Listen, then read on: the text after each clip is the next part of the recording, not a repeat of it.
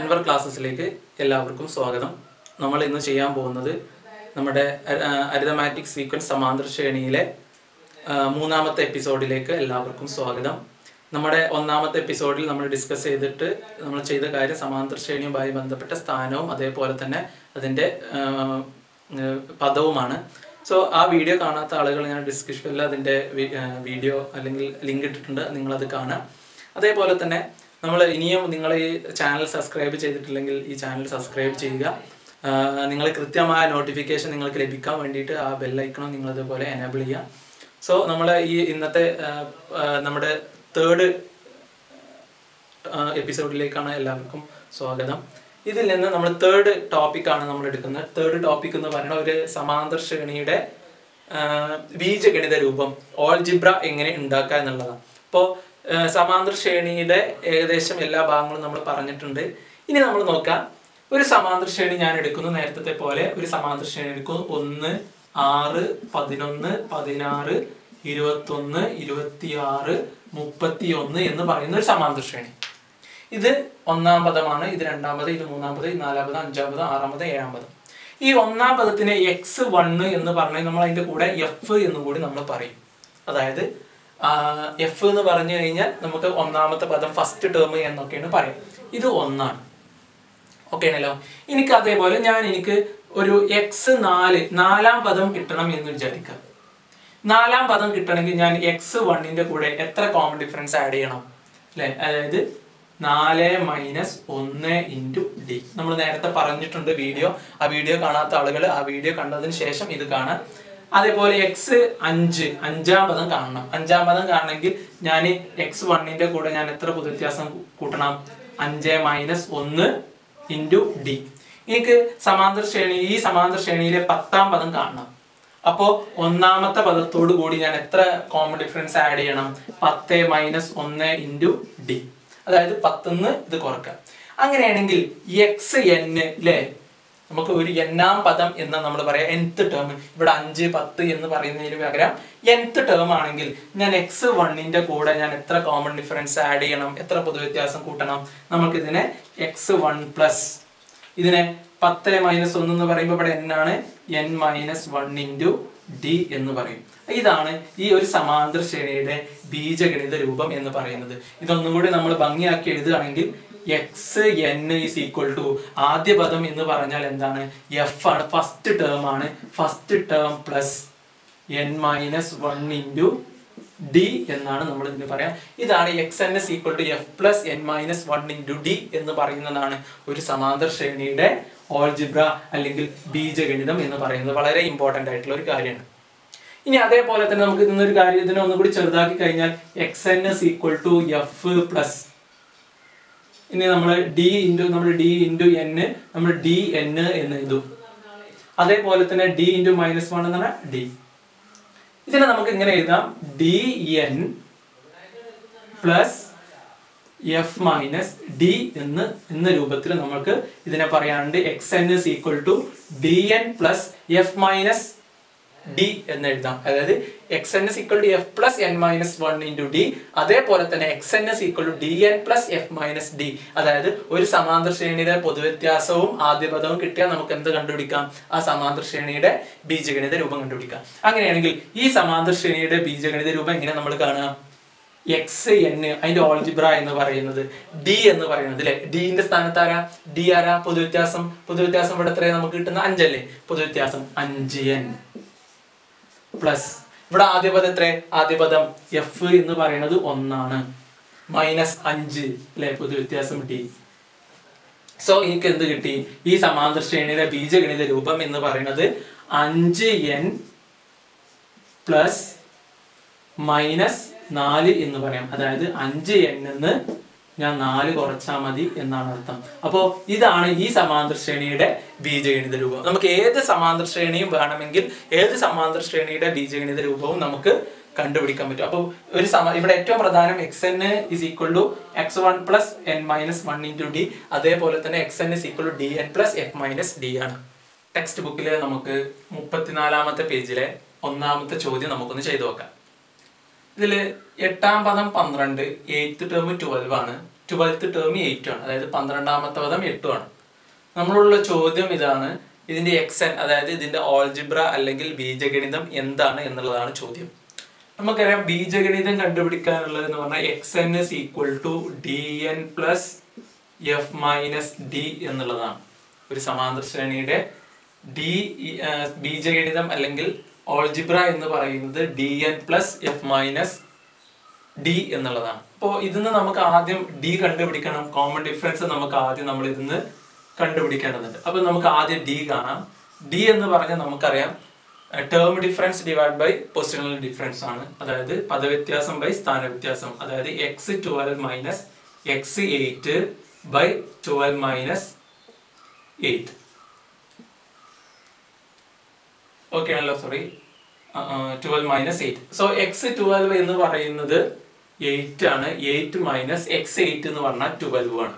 So next വരിക twelve minus eight that's equal to eight minus twelve എന്ന് പറഞ്ഞു കഴിഞ്ഞാൽ എത്രയായിരിക്കും വരിക? മൈനസ് ഫോർ ആയിരിക്കും. Then divide by four that's equal to minus one so D എന്ന് പറയുന്നത് പൊതുവ്യത്യാസം എന്ന് പറയുന്നത് അല്ലെങ്കിൽ കോമൺ ഡിഫറൻസ് എന്ന് പറയുന്നത് മൈനസ് വണ്ണ് കിട്ടി. ഇനി നമ്മൾ എന്ത് ചെയ്യണം? ഇത് നമുക്ക് ഫസ്റ്റ് ടേം കാണണം. ഓക്കെ എന്നാലേ നമുക്ക് ഡി കിട്ടിയപ്പോൾ ഇനി എഫും കൂടി കിട്ടണം. നമുക്കറിയാം എയ്ത്ത് ടേം ട്വൽവ് ആണ്. നമുക്ക് എന്താ കണ്ടുപിടിക്കേണ്ടത്? എക്സ് വൺ അല്ലെങ്കിൽ എഫ് ആണ് നമുക്ക് കണ്ടുപിടിക്കേണ്ടത് ആദ്യ പദം. ഫസ്റ്റ് ടേം കിട്ടാൻ നമുക്കറിയാം എക്സ് എയ്റ്റ് ആണ് നമുക്ക് തന്നിട്ടുള്ളത്. അപ്പോൾ എക്സ് വൺ ആദ്യ പദം കിട്ടണമെങ്കിൽ എയ്റ്റ് ടേം എയ്ത്ത് ടേമിന്ന് ഞാൻ അല്ലെങ്കിൽ എട്ടാം പദത്തിൽ നിന്ന് എത്ര പൊതുവ്യത്യാസം എത്ര കോമൺ ഡിഫറൻസ് മൈനസ് ചെയ്യേണ്ടി വരും? എട്ട് മൈനസ് എട്ട് എട്ട് മൈനസ് ഒന്ന് ഇന്റു ഡി എന്ന് കിട്ടും. എക്സ് എട്ട് എന്ന് പറഞ്ഞാൽ ട്വൽവ് ആണ്. Twelve minus eight minus seven into D എന്ന് പറഞ്ഞാൽ മൈനസ് വൺ. സോ നമുക്ക് എന്ത് കിട്ടി? ട്വൽവ് പ്ലസ് സെവൻ എന്ന് കിട്ടി. ദാറ്റ്സ് ഈക്വൽ ടു നമുക്ക് എന്ത് വരും? നയന്റീൻ എന്ന് വരും. അതായത് എഫ് എന്ന് പറയുന്നത് ഫസ്റ്റ് ടേം എന്ന് പറയുന്നത് നയന്റീൻ ആണ്. ഇനി നമ്മൾ അടുത്ത് നോക്കേണ്ടത് നമുക്ക് ഇനി ഓൾജിബ്ര കാണാം. X N is equal to D എന്ന് പറഞ്ഞാൽ ഡിന്റെ പൊസിഷനിൽ നമ്മൾ മൈനസ് വൺ കൊടുക്കണം. മൈനസ് വൺ വേറെ ഉള്ളതിനൊന്നും നമ്മൾ മാറ്റം വരുത്തരുത്. എൻ അവിടെ തന്നെ വെക്കുന്നു. പ്ലസ് എഫ് എന്ന് പറയുന്നത് നയന്റീൻ ആണ്. നയന്റീൻ മൈനസ് ഈ മൈനസ് ഇവിടെ നിന്ന് ഡി എന്ന് പറയുന്നത് മൈനസ് വൺ ആണ്. സോ ഇത് ഞാൻ മൈനസ് വൺ ഇട്ടു. സോ നമുക്കിത് അറേഞ്ച് ചെയ്യാം. Minus one N plus minus twenty എന്നാണ് നമുക്ക് കിട്ടുക. അപ്പോൾ പ്ലസ് മൈനസ് ഒരുമിച്ച് വരുമ്പോൾ നമുക്ക് പ്ലസ് ട്വന്റി എന്നാണ് നമുക്ക് കിട്ടുക. സോ നമുക്ക് ഇതിനെ റീഅറേഞ്ച് ചെയ്താൽ ട്വന്റി മൈനസ് എൻ എന്ന് കിട്ടും. സോ ഈ ഈ ഒരു സമാന്തര ശ്രേണിയുടെ അല്ലെങ്കിൽ ഈ ഒരു അരിതമാറ്റിക് സീക്വൻസിന്റെ എൻത്ത് ടേം അല്ലെങ്കിൽ അതിന്റെ ഓൾജിബ്ര എന്ന് പറയുന്നത് അല്ലെങ്കിൽ ബീജഗണിതം എന്ന് പറയുന്നത് ഇരുപത് മൈനസ് എൻ ആണ്. അപ്പൊ നമ്മുടെ ആൻസർ കിട്ടി ഇരുപത് മൈനസ് എൻ ഇനി മൂന്നാമത്തെ ക്വസ്റ്റിനും നോക്കുക ആദ്യപദം എന്ന് പറയുന്നത് അല്ലെങ്കിൽ ഒന്നാമത്തെ പദം എന്ന് പറയുന്ന ഫസ്റ്റ് ടേം എന്ന് പറയുന്നത് വൺ ബൈ ത്രീ ആണ്. കോമൺ ഡിഫറൻസ് അതായത് അല്ലെങ്കിൽ പൊതുവ്യത്യാസം എന്ന് പറയുന്നത് ഒന്ന് ബൈ ആറാണ് നമ്മളുള്ള ചോദ്യം ഇതാണ്.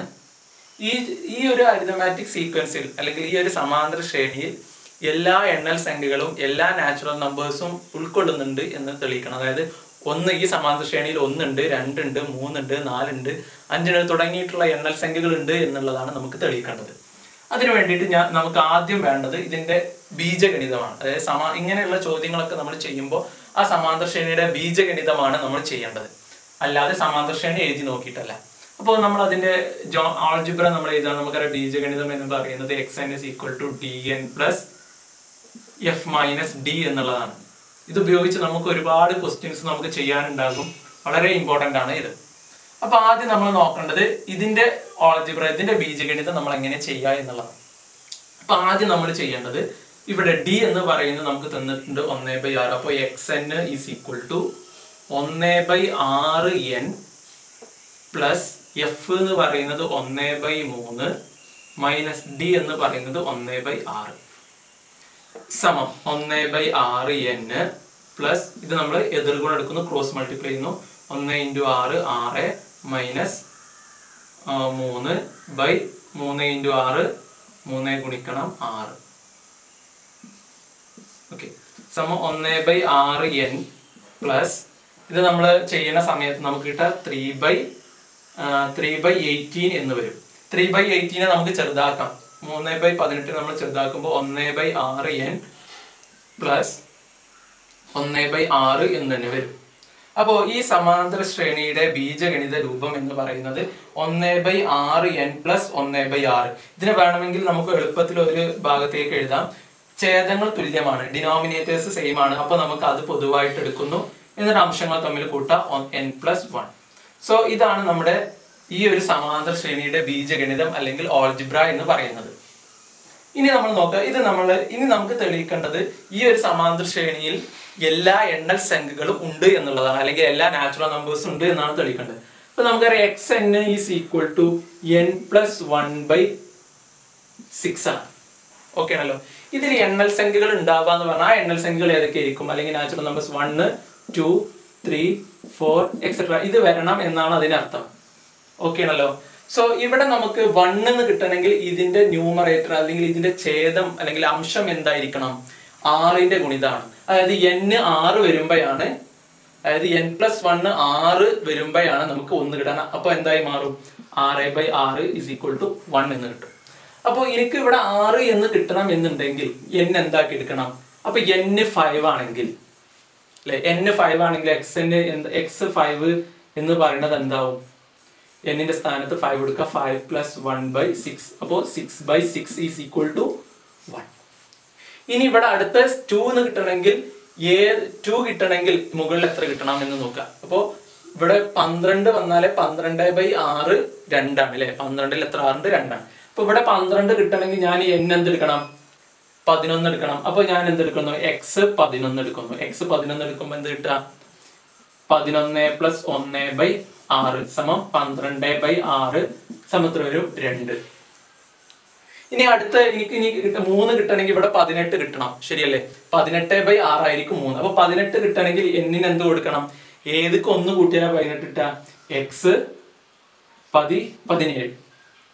ഓക്കെ അപ്പൊ എക്സ് പതിനേഴ് ഞാൻ അതിക്ക് എടുക്കുന്ന. എക്സ് പതിനേഴ് എടുക്കുമ്പോൾ എന്താ വരിക? പതിനേഴ് പ്ലസ് ഒന്ന് ബൈ ആറ് സമം എന്തായി മാറും? പതിനെട്ട് ബൈ ആറ് സമം മൂന്ന്. അപ്പൊ നിങ്ങൾക്ക് ഇവിടെ അറിയാം. നോക്ക് നമുക്ക് അഞ്ച് പതിനൊന്ന് പതിനേഴ് അടുത്ത നമുക്ക് നാല് കിട്ടണമെങ്കിൽ എക്സ് എന്ത് കണ്ടുപിടിച്ചാൽ മതി? എക്സിന് നമ്മൾ എന്ത് കൊടുത്താൽ മതി? ഇരുപത്തി മൂന്ന് എക്സ് ഇരുപത്തി മൂന്ന് സോ നമുക്ക് ഇതിൽ നിന്ന് മനസ്സിലാക്കാൻ പറ്റും.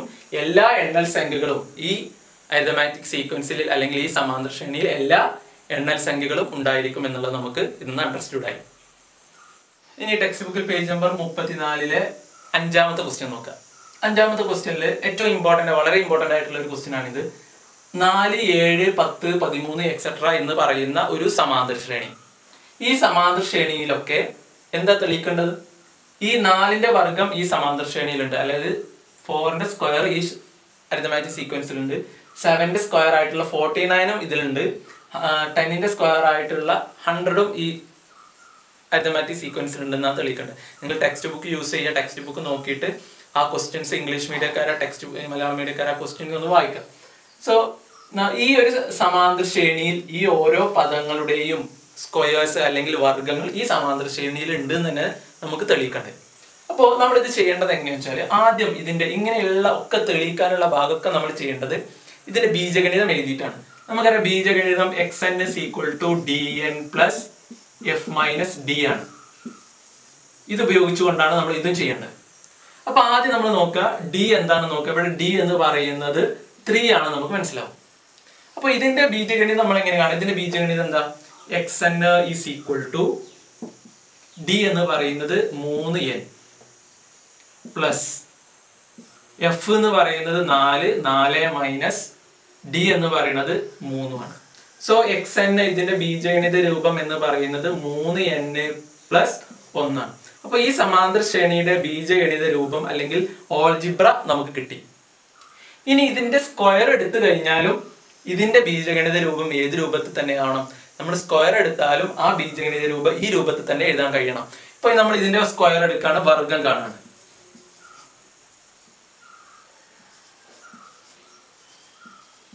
അല്ലെങ്കിൽ നമ്മൾ സ്ക്വയർ നമ്മൾ ഇതിനെ സ്ക്വയർ ചെയ്യുന്ന സമയത്ത് എക്സ് എൻ സ്ക്വയർ ആണ് നമ്മൾ കാണേണ്ടത് അല്ലെ? അതായത് ഈ എക്സ് എന്നിന്റെ സ്ക്വയർസ് ഒക്കെ ഇതിൽ തന്നെ ഉണ്ട് എന്ന് തെളിയിക്കണം. അപ്പൊ ഞാൻ ഇതിനെ സ്ക്വയർ ചെയ്യാണ് അപ്പോൾ three N plus one whole square എന്ന് കിട്ടും. ഇതിനെ നമുക്കറിയാം A plus B whole square പറയുന്ന സമയത്ത് three N square three N whole square plus നമ്മൾ ടു എ ബി അല്ലെ? ടു എ ബി എന്ന് പറയുമ്പോൾ two into three N into one plus one square സംശയമൊന്നുമില്ലല്ലോ. A plus B whole square രൂപത്തിലാണ്. So ഇതെന്തായി മാറും? ത്രീന്റെ square nine N square plus six N plus one എന്ന് കിട്ടും. ഇനി നമ്മൾ നോക്കാം. ഇത് നമ്മൾ ഇതിലേക്ക് മാറ്റി എഴുതാണ് എക്സ് എൻ സ്ക്വയർ എന്ന് പറയുന്നത്. എക്സ് എന്നിന്റെ സ്ക്വയർ എന്ന് പറയുന്നാൽ ഇതിൽ ഓരോ ടേമിന്റെ സ്ക്വയർ ഇതിലുണ്ട് തന്നെയാണ് നമ്മൾ നോക്കേണ്ടത്. സോ നമുക്ക് ഇതിൽ എഴുതാം. ഇതിനെങ്ങനെ എഴുതാം?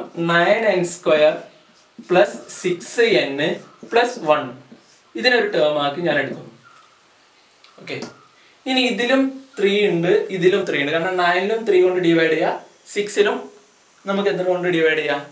ത്രീ കൊണ്ട് ഡിവൈഡ് ഇപ്പൊ ഞാൻ കോമൺ ആയിട്ടുള്ള ത്രീ പുറത്തേക്ക് എടുക്കണം. അപ്പൊ ബാക്കി ത്രീ എൻ സ്ക്വയർ പ്ലസ് ത്രീയിൽ ടു എൻ പ്ലസ് വൺ അപ്പോൾ three N X N X N square എന്ന് പറയുന്നത് three into three N square plus two N plus one എന്നാണ്. ഇപ്പോൾ ഇവിടെ നമ്മൾ ഇവിടെയും ത്രീ ഉണ്ട് ഇവിടെയും ത്രീ ഉണ്ട് എന്നുള്ളത് കൊണ്ടാണ് ഞാൻ ത്രീ ഇതിന്ന് ഔട്ട് സൈഡ് എടുത്ത് നമുക്ക് ത്രീ കൊണ്ട് ഇത് മൾട്ടിപ്ലൈ ചെയ്താൽ കിട്ടും three into three nine three into two six okay ആണല്ലോ.